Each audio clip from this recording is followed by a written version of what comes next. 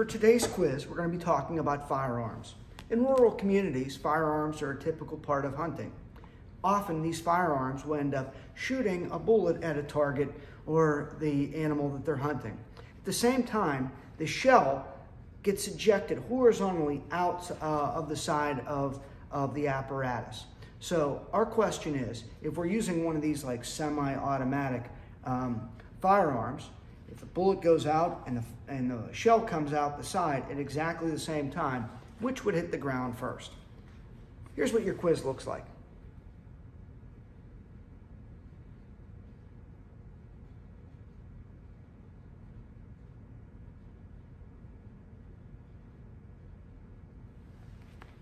As always, mark your confidence and the reasoning behind your explanation.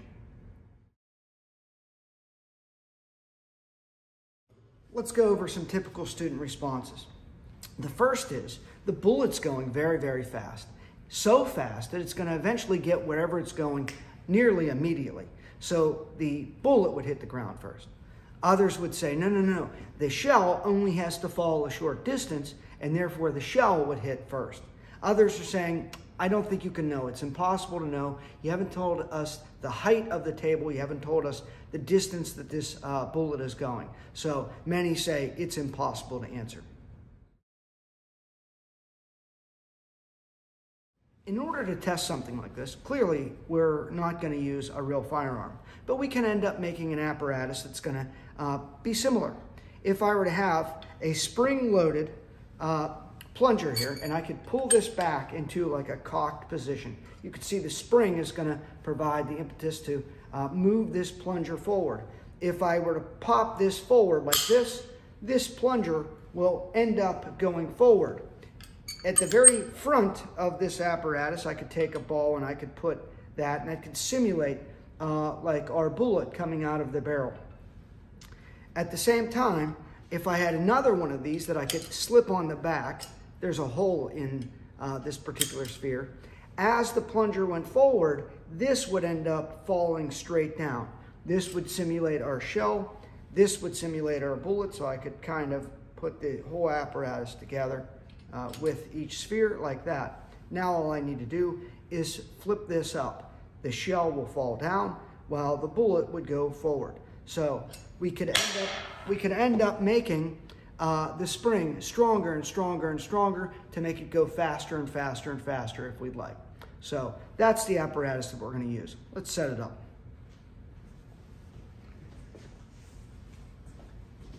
To help us think through this problem before we actually launch this, uh, we can think of uh, taking uh, a still motion uh, photography every second or so, or tenth of a second, whatever it might happen to be.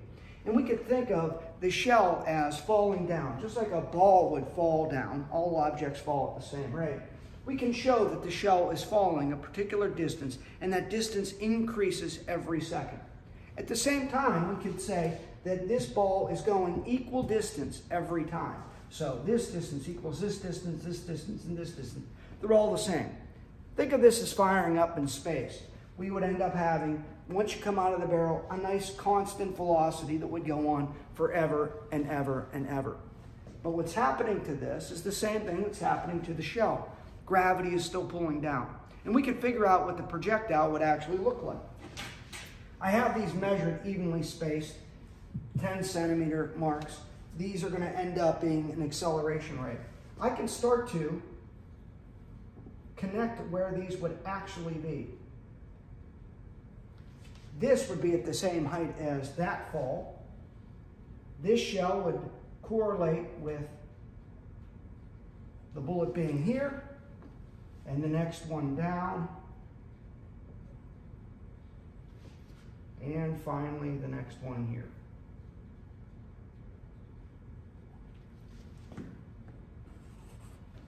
And we make a parabola. And this is the motion of having an accelerating axes with a non-accelerating axis. In other words, in the x direction, we don't have an acceleration. In the y direction, we have a force of gravity and therefore an acceleration. Both are going to be uh, acted upon by gravity, and therefore we would expect both of these to end up hitting at the same time because gravity acts on all objects, and whatever happens in the x-axis has no bearing on the y-axis, and vice versa. Let's actually set this up and see if we can see it.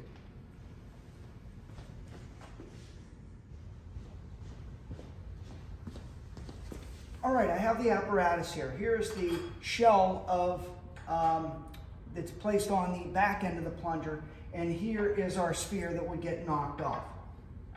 Hopefully we'll be able to see this. I'll stand over here, flip this, the quote bullet will fly in that direction, and the shell should fall down right here. Hopefully we'll be able to pick this up. On the count of three, one, two,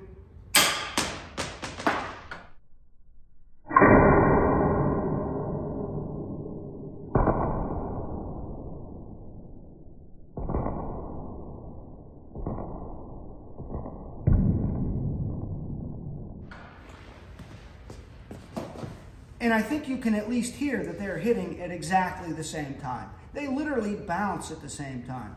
So the answer, of course, is the shell and the bullet hit the ground at the same time. And that's your quiz for today.